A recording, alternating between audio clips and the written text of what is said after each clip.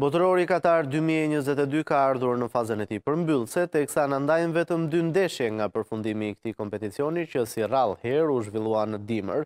Kroacia dhe Maroku të cilat e nisën këtë kampionat në grupin F ritakohen në fund të këtij kampionati, të këtij kompeticioni për të përcaktuar vendin e tretë, ndërsa ndeshja do të luhet sot në orën Gjashtëmbëdhjetë, po në këtë orë, por të dielën do të luhet edhe finalja e madhe mes Francës dhe Argjentinës. Dhe për të diskutuar për ecurinë e këtij botërori, për gjasat që Argjentina të shpallet fituese siç pretendohej deri më tani apo Franca do të jetë fituese pavarësisht vështirësive shëndetësore të lojtarëve të saj, do të diskutojmë tani me zotin Artan Shyti, analist sportiv. Përshëndetje zoti Shyti, faleminderit që jeni pjesë e kësaj bisede. Përshëndetje, faleminderit për ftesën. Dhe Olsi Teqja, futbollist që mezi e ka pritur këtë finale të Francës, në bisedën që patëm javën e kaluar, Olsi ishte i bindur që Franca do të shkonte në finale. Olsi, faleminderit që je sërish me ne. Përshëndetje. Kroaci Marok, një përsëritje nga grupi F. Si e shihni këtë përballje, po tashmë për vendin e tretë në këtë botëror? Si është si ka qenë ecuria e këtyre skuadrave dhe si cilën shihni më favorite zoti Shyti? është është dyshe dyshe e surprizave do thoja unë do pavarësisht se Kroacia edhe herën e kaluar ishte në finale por në kuotimet e fillimit nuk mendoj që do të ishte Kroacia deri në katërshe dhe nëse nëse ky botëror ka pasur konfirmime dhe surpriza unë besoj që finale e madhe është finalja e konfirmimeve, ndërsa finalja e vogël, ajo që quhet domethënë finalja e për vendet 3-4, është pjesa surprizë, pjesa e paparashikuar, besoj unë që shumë pak njerëz kanë menduar që do të ishte Maroku, disa mund të kenë menduar, më tepër mund të kenë shpresuar që do ishte Kroacia, duke pasur parasysh atë si të thuash grupin e pretendentëve në letër që ishin para para se të fillonte kampionati. Kështu që është interesante, janë janë dy ekipe le të themi, të nivelit të, të, të ulët të, ekonomik, politik, pse jo dhe në planin sportiv, nëse, kam, kemi, nëse e krahasoj me, me, me, me superfuqitë janë aty, që tregon në një farë mënyre që ka hapësirë për të gjithë, ka vend për të gjithë për të shpresuar, dhe që futbolli nuk është drejtpërdrejt tregues i fuqisë ekonomike, apo dhe fuqisë sportive në planin kombëtar, po është edhe një kombinim interesant i i rastësisë, i një grupi lojtarësh, që në fund fare edhe Kroacia i ka të jashtëzakonshëm, po edhe Maroku na tregoi që të jashtëzakonshëm. Kështu që unë besoj që pavarësisht se mund të prisnim të tjerë, dikush mund të priste të tjerë në këtë katërshe, këto të katër ekipet e kanë merituar plotësisht veçanërisht Maroku personalisht më ka bërë një përshtypje të jashtëzakonshme dhe në një farë mënyre konfirmon atë që ka vend për të gjithë në në në futbollin e sotëm botëror. Dhe Brionit përshëndes dhe Olsi Teqen si një ish student edhe edhe edhe edhe futbollist të jashtëzakonshëm që ka pasur Shqipëria. Përshëndetje. Na vjen mirë që i takojeni kështu virtualisht të dy. Po ti. Përshëndetje profesor, doja të përshëndesja edhe respekt pa fund. Olsi, këto dy skuadra kanë qenë gjithmonë jashtë parashikimeve të këtij botërori. Askush nuk e parashikonte që do të shkonin deri në këtë fazë. Dhe të të kërkoj një parashikim se cila do të jetë fituesja e sfidës së sotme, më duket edhe mua e çuditshme sepse gjithmonë kanë patur surpriza dhe mund të kemi një surprizë. Po, si e sheh formën e këtyre dy skuadrave që vijnë sot në përballje? E Kroacisë edhe po, të Marokut. Po si çdo si si çdo fillim e ka e ka një fund edhe tani botërori po i vjen fundi. Edhe po ta shohësh edhe skuadrat janë shumë të lodhura, sepse është një maratonë e gjatë dhe kanë bërë 6-7 ndeshje për për, për arkun kohor prej 20 ditësh. Kështu që mm, do jetë një ndeshje ku do ku do ato do japin dhe bateritë e fundit, fuqitë e fundit që kanë, domethënë edhe pse do shoh dy dy skuadra të shtrydhura në aspektin fizik. Po, a do të kenë motivimin e mjaftueshëm këto dy skuadra lojtarët, se është ndryshe kur luan për finalen dhe ndryshe kur luan për vendin e tretë? Sigurisht e shof Marokun si më të motivuar për të marrë një një çmim si vendi i tretë dhe është një diçka e jashtëzakonshme për një nacionale si Maroku të bëjë një histori siç është të jesh e treta e botës. Ndërsa Kroacia deri diku nuk ishte shumë surprizë sepse Kroacia ka shumë cilësi, Kroacia ka shumë uh, lojtarë të jashtëzakonshëm që i japin tonin uh, tonin ligave më të mira të Europës. Uh, është ndeshje, është ndeshje shumë shumë e ekuilibruar do të thoja, edhe shpresoj që të fitojë Kroacia sepse si ballkanas që jemi, uh, bëjmë tifo për për Kroacinë. Zoti Shyti, në këtë përballje a do të kenë qoftë lojtarët e Kroacisë që e kanë e kanë provuar veten edhe në kompeticionin e kaluar në ndeshje pranë finales apo në finale apo në ndeshje të tilla, a do të kenë ata motivimin e mjaftueshëm për t'u ndeshur për vendin e tretë apo kemi parë që lojtarët e Marokut kënaqen edhe me këtë vend të tretë sepse për ta është surprizë edhe mbërritja deri këtu. janë më të favorizuar nga ana morale, po themi lojtarët e Marokut në këtë ndeshje. Unë besoj që të dyja palët kanë motivet e tyre të rëndësishme për të synuar fitoren, sepse është një hap më tepër ose më lartë në historinë që ata personalisht, po dhe kombëtaret e tyre, po shkruajnë në këtë botëror. Patjetër, shof, shof më të favorizuar Kroacinë për, për shkak të përvojës që ka, për shkak të një grupi lojtarësh që janë mësuar me këto sfida dhe për të thënë si t'u thuash një përshtypje kështu më duket, ose kam përshtypjen që Katari, e më fal, Maroku u lodh shumë në ndeshjen me Francën dhe mungesa e ndonjë lojtari dhe dëmtimi i ndonjë lojtari në atë ekip ndihet shumë më tepër sesa te Kroacia. Kështu që Nuk duhet harruar që ishin të dyja ndeshje shumë të lodhshme edhe në planin fizik, po edhe në planin psikologjik ndeshjet e gjysmëfinales. Kështu që do të në këtë ballafaqim, nga një anë shoh përvojën edhe freskinë le të themi të Kroacisë si favor ose si faktor pozitiv, Nga ana tjetër shoh motivimin e jashtëzakonshëm të të Marokut që kam përshtypjen që mm, do ta bëjë këtë ndeshje komplet balancuar. Mos harroni që erdhi një moment që kur ishte me kur luante kundër Francës, Maroku pasi pasi kaloi në dizavantazh ka bërë një ndeshje të jashtëzakonshme, ka treguar një shpirt gare përballë një ekipi që ne të gjithë e kuotojmë si ekip e kishim që në fillim kuotuar si ekip të favorizuar për vendin e parë, kështu që do të jetë një ndeshje, zakonisht ndeshjet për vendin e tretë e katërt në historinë e botërorëve nuk janë ndeshje si të thuash që tërheqin aq sa e para, duhet ta pranojmë këtë. Por kjo ndeshje, pikërisht për këto arsye, bëhet interesante, bëhet shumë e këndshme për t'u parë dhe unë besoj që ka shumë motiv në të gjithë spektatorët, veçanërisht telespektatorët për të për të qenë prezent dhe për ta parë këtë ndeshje, jo si një si të thuash një ndeshje me me më pak rrezik, por përkundrazi, për ata që duan të shohin sport, që duan të shohin futboll, unë besoj që kanë sot një motiv të jashtëzakonshëm për të përjetuar një 90-minutësh dhe pse jo edhe 120-minutësh shumë interesant. Po duket nga ana tjetër se skuadra e Marokut ka paraqitur një ankesë në FIFA, ndërkohë që tifozët kanë kërkuar që gjysmëfinalja me Francën të luhet sërish. Sa shanse ka të ndodhë diçka e tillë? Ja, nuk besoj se nuk besoj se ndodhin këto në një kupë bote do ishte do të ishte vetëvrasje organizative që të ndodhnin këto. Nuk e di se kush ka kush është pretendimi, por nuk besoj se me aq sa kemi parë, nuk e di për çfarë arsye mund të jetë bërë, por nuk besoj se është kjo është e mundur, nuk besoj. Është shanset janë zero, 5 orë, 6 orë para ndeshjes, shanset janë zero që ti të të përmbysësh komplet kupën, nuk besoj. Nuk e di çfarë çfarë thashë, e përsëris, nuk e di kush motivi, po çfarëdo lloj motivi që të ketë, nuk është diçka që përsëritet. Uh, kalojmë te finalja, te finalja e shumëpritur Francë-Argjentinë. Olsi në çfarë forme i sheh skuadrat në këtë finale? Franca ka një problem shëndetësor me disa nga lojtarët e saj, ndërkohë Argjentina vjen më e motivuar, si, si e shef formën që vijnë të dyja skuadrat në finale nesër? Po janë dy, janë dy nacionale që besoj se e kanë merituar finalen, kanë bërë një futboll shumë të mirë, shumë cilësor, futboll të jashtëzakonshëm, me ritëm, na kanë argëtuar, deri diku Argjentina pak më shumë na ka argëtuar dhe do jetë një ndeshje shumë e fortë. Shpresoj që uh, problemet shëndetësore në, në ekipin e Francës mos ndikojnë në gjendjen e tyre, pavarësisht se ato i kanë marrë masat edhe nuk besoj se do jetë shumë shqetësuese. Pastaj uh, shpresoj si, siç e kam thënë, shpresoj që Franca dali dali triumfuese, besoj shumë te eksperienca e tyre, ato janë më të qetë, ndërsa Argjentina ka më shumë dozë emocionale.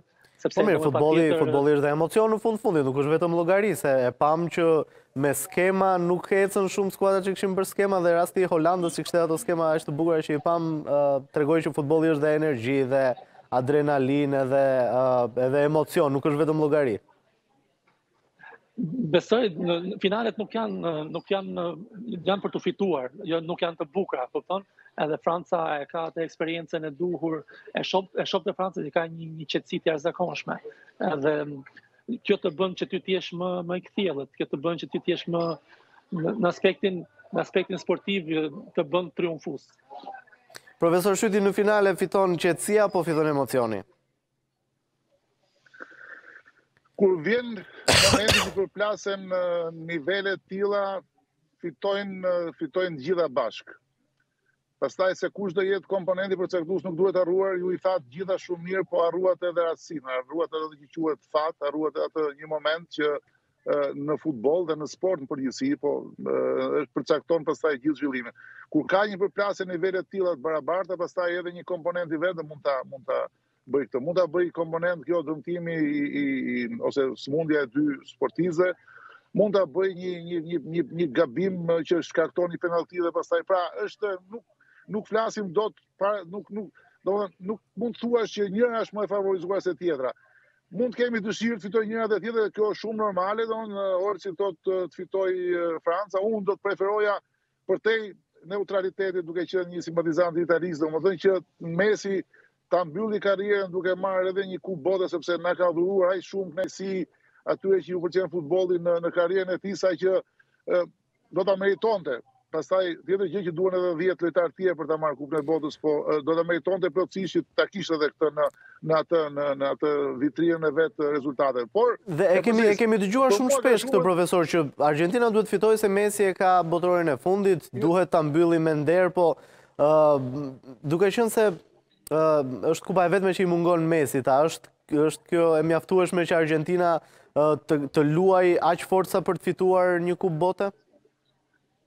Shiko, unë kam dëgjuar dhe këto teoritë konspirative që duhen përjashtuar në mënyrë të, të qartë, sepse këtu nuk bëhet fjalë që duan t'ja japin. Kjo teoria duan shqiptare, kryesisht duan t'ja japin, duan t'ja është teori që nuk mund të funksionojë në këto nivele.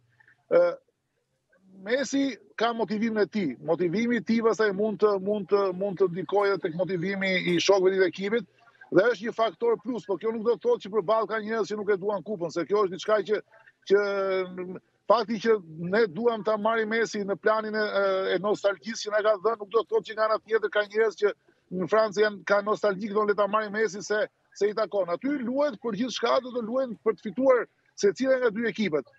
Unë unë them që le ta marrë edhe Franca në planin personal nuk kam ndonjë kështu, unë dua të shoh një futboll të bukur, besoj do jetë futboll i bukur, janë dy ekipe që sulmojnë, janë dy ekipe që nuk eh, bëjnë llogari. Por eh, nëse do më pyesnin personalisht do thosha që në në në në për aq sa i ka dhënë futbollit dhe për aq sa meriton, eh, unë besoj që nuk do të ishte do të kishte një faktor plus. Po kjo nuk nuk mjafton. Dëshira e Messit, dëshira e argjentinasve nuk mjafton për të për të për të plotësuar pastaj mangësit në në në lojë, mangësit fizike, mangësit teknike apo mangësit taktike. Duhet të japin gjithë maksimumin dhe motivimi është patjetër nga dy anët 100% bëhet fjalë për profesionistë, bëhet fjalë për njerëz që e ndjejnë peshën e atij evenimenti të jetë nesër, kështu që është e garantuar Kënaqësia për t'u parë dhe unë besoj, unë besoj që në ato gjashtë apo më tepër ekipe që ishin pretendent, këto janë dy nga ato ekipet që me të vërtet kemi dëshiruar në fillim që t'ishin. Do na pëlqente shumë t'ishte Brazili, do na pëlqente shumë t'ishte Spanja, por në fund fare domethënë, as, këto të dyja nuk e kanë nuk e kanë e kanë merituar këtë pozicion dhe kushdo që ta marri, do ta meritojë Kupën e Botës. Ëm, uh, ju i përmend se rasti thuhet që të ndajmë të ndajmë dy kupa njëra njëri dhe njërin tjetrin të bien rehat gjithë të shkojnë në shtëpi.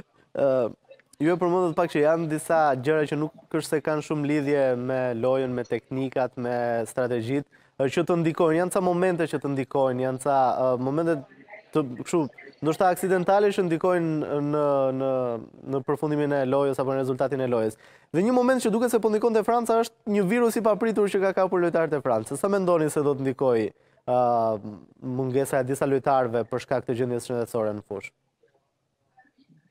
Po, tashi kjo është pjesë, pjesë e realitetit, ka një gjë domethënë që unë nuk para i besoj këtyre, ose i besoj deri diku në sensin që ka plot variante taktike, Olsi e di më mirë domethënë për këto, çfarë nxjerrin përpara ekipet, kjo së është, kjo do jetë, pastaj kjo në fund është, Por Franca është një ekip që ka 26 lojtarë, dhe ne kemi parë dhe në, në, në ato në ndërrimet që ka bërë që është ekip që mund të mund ta plotësojë ato mungesat. Patjetër që është një sport që zhvillohet në një ambient, është një sport që ka shumë komponentë, ke të, që vetëm pra dhe rastësia, fakti që dëmtohet një lojtar, fakti që një lojtar nuk është 100% mund të ndikojë.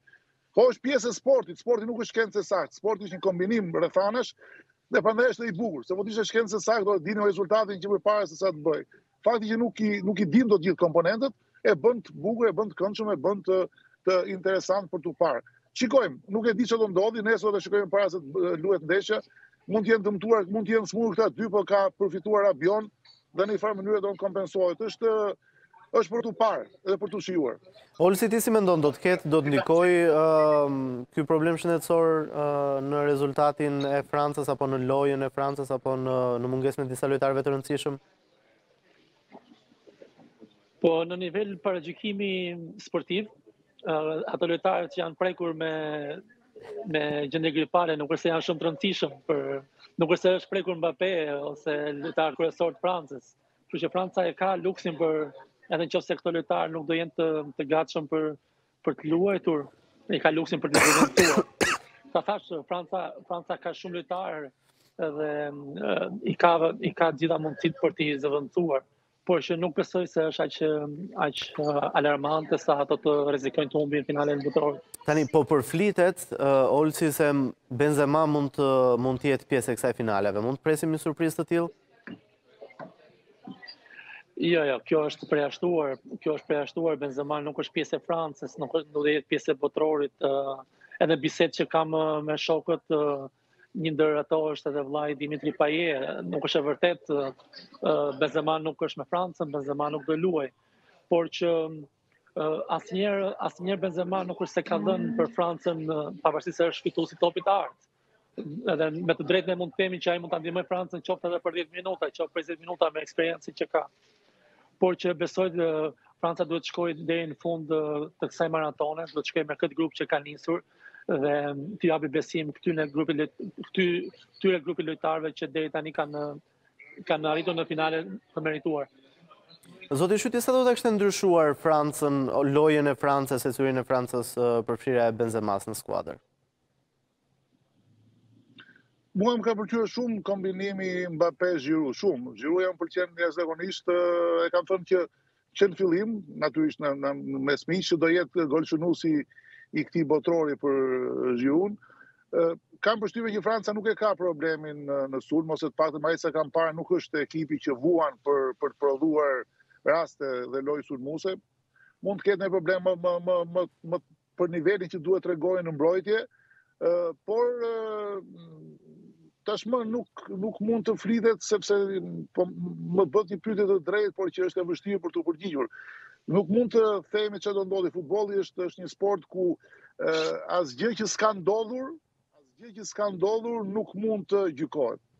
Kështu që për aq kohë sa nuk mund të ishte, mund të kishte bërë 8 gola, mund të kishte bërë gjithçka siç ka bërë tek Reali, duhet ta pranojmë këtë realitet që Franca hyn në këtë ka hyrë në këtë botëror dhe ka vazhduar këtë botëror duke prodhuar lojë sulmuese, duke prodhuar raste, duke prodhuar gola, duke na treguar me Mbappén disa disa momente të jashtëzakonshme edhe me Giroudn disa momente të jashtëzakonshme, kështu që ë i mjaftojnë Këta lojtarë në sulm për të bërë me Griezmannin që ka bërë një performancë për, për mendimin tim jashtë normalit, nuk e kisha menduar që do ishte në këto. Dhe pastaj gjithë pjesën tjetër, po unë kam përshtypjen që në një në një futboll që në një ndeshje që nga një anë ka Mesin, nga ana tjetër ka Mbappén e Giroudn, ne do të do të kënaqemi pafund dhe pastaj le të fitojë më i miri se Për aq larg sa janë nga Shqipëria nuk ka rëndësi shumë madhe për ne se në planin konkret do. Një aspekt tjetër që është diskutuar shumë gjatë këtij botërori ka qenë edhe në thonjëza loja e arbitrave. Janë diskutuar shumë vendimet e arbitrave, vendimet e VAR-it. Si e keni parë gjithë ecurinë e gjykimeve në këtë botëror, Zoti Shyti?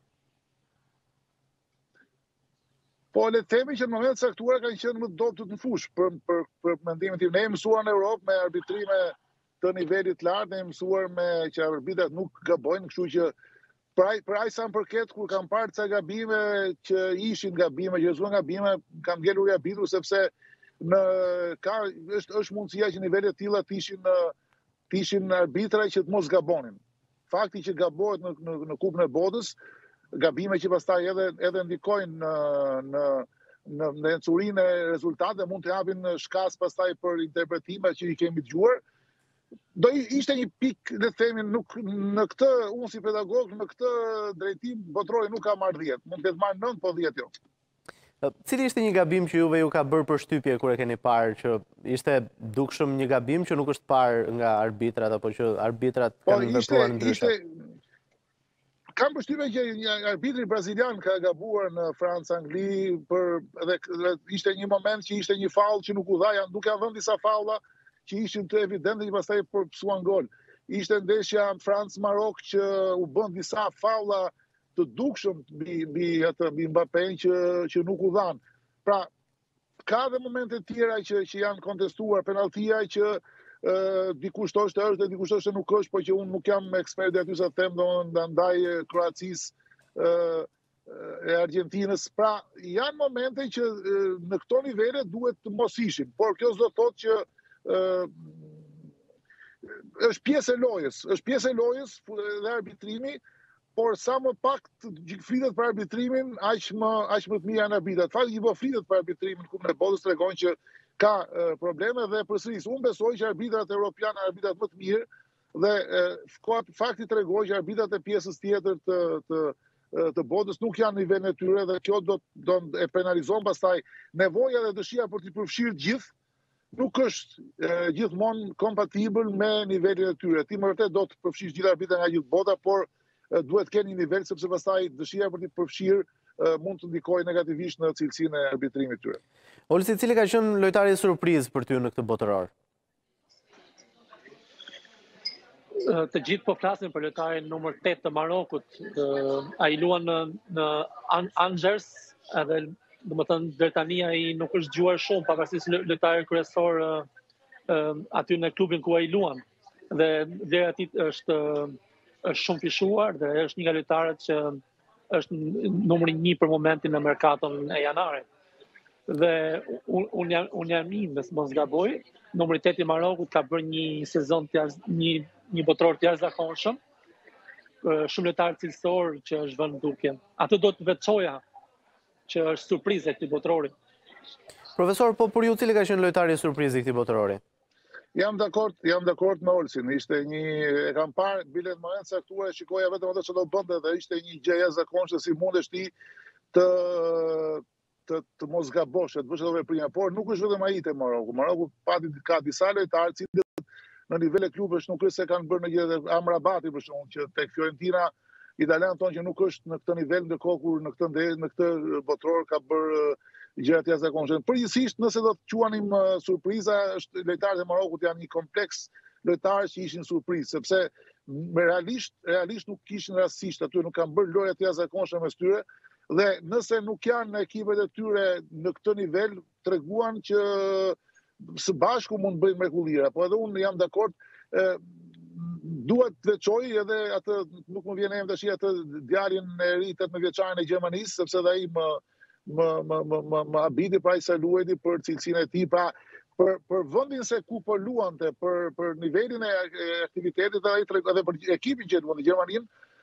tregoi një nivel të jashtëzakonshëm. Olsi mund më ndihmojë me emrin, nuk më vjen, por është një djalë don që ishte një gjë që ishte talent, por nat Musiala sigurisht po si e ka. Musiala, Musiala, Musiala, Musiala. Musiala diçka e tillë.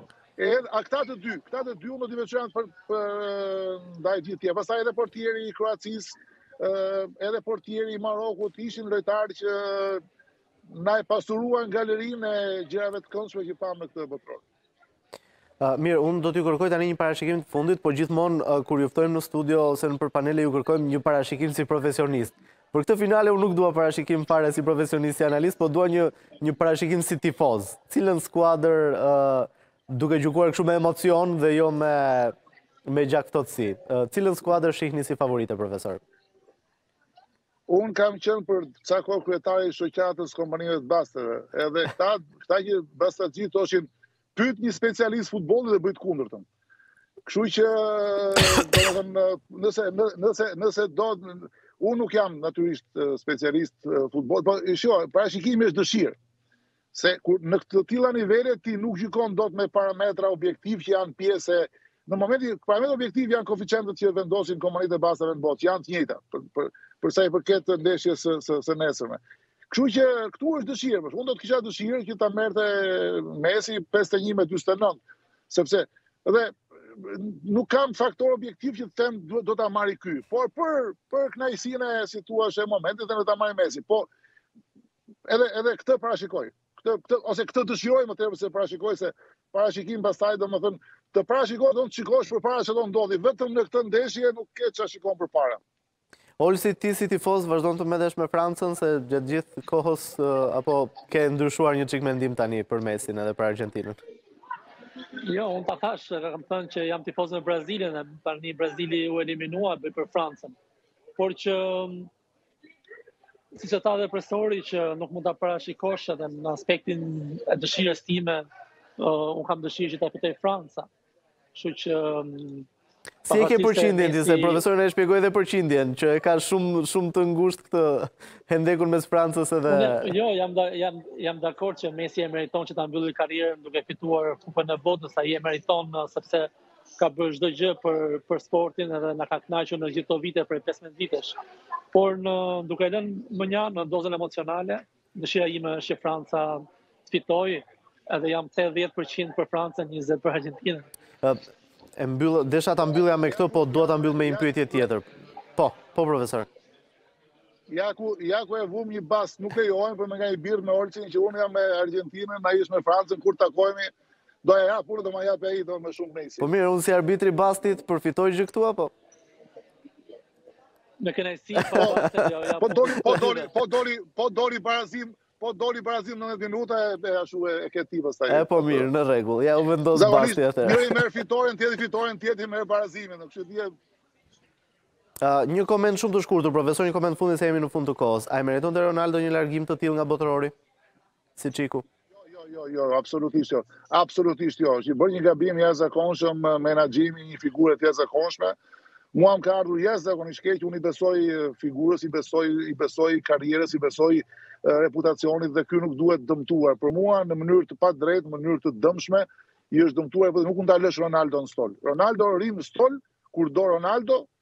Ronaldo, më mirë mos e merr fare sa ta lësh në stol. Nëse do ta futësh, fute në fillim e nxirre edhe mas 30 minutash, por nuk mund. Për mua është bërë një gabim dhe ka ndikuar. Dhe unë kam përshtypjen që Portugalia ka pas problematika të mëdha brenda në grup sepse kam vënë re edhe disa gjëra të tjera dhe në, në është vetë dëmtuar se Portugalia është vërtet një ekip i jashtëzakonshëm. Por ashtu si u menaxhua Ronaldo, Është një gafë e jashtëzakonshme, i ka dhënë aq shumë asaj kombëtare, sa që nuk mundesh ti ta lësh ta ta futësh në lojë zëvendësues, nuk mundesh. Megjithatë, kjo në këtë kjo pyetje është shumë interesante për t'u përgjigjur Olsi sepse ai është më pranë, e ndjen më tepër, domethënë atë që atë që ndjen realisht një futbollist në këto nivele, Kur trajtohet kështu? Olsi, si e sheh ti largimin e Ronaldos? A e meritonte atë largim nga botërori Ronaldo? Po shumë shkurt se jemi në fund të kohës edhe. Po, bashkohem me me Jemi në minuta shtesë tani të intervistës. Jo, bashkohem, bashkohem. Ata i kanë dhënë tonin tonin tonin futbollit europian për 15 vite si Messi, si Ronaldo dhe në asnjë mënyrë nuk mundesh që ti të luash me me figurën e tyre. ata meritojnë vetëm respekt. Në momentin që ti nuk i respekton, atëherë është një një një mosmirënjohje. Një mosmirënjohje që i kushtoi Portugalisë? I kushtoi i kushtoi Portugalisë, i kushtoi gjithë futbollit për mendimin tim, sepse Ronaldo ka shumë fansa, shumë Shumë tifozë, jo vetëm në Portugali, por në gjithë botën. Dhe të, e gjithë bota është mërzitur, jo vetëm uh, Portugalia. E qartë. Mirë, ju falenderoj shumë uh, zoti Shyti dhe Olsi për këtë bisedë dhe për parashikimet. Mbetemi në pritje të rezultatit tani që të ekzekutojmë bastin. Në pritje të birrës ngjelim. Faleminderit shumë.